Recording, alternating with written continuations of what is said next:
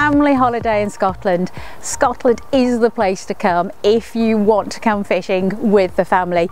You can go to the Hebrides and fish from lochs, fish from sea lochs, and superb place is Finsbay, and they've got some beautiful cottages. You can then come down into Tayside, where we are today, and you've got Georgina Ballantine's cottage, where she the lady who caught the largest salmon in UK waters used to live. You can stay at that cottage or you can go further down and stay in the beautiful Meikleour estate there East Wing. Or if you would like to stay in Scone Palace their apartments they actually have as well. So on the Tay you could come and have some fishing with the family. You can do trout fishing on the Tay as well and and enjoy some wonderful accommodation and food.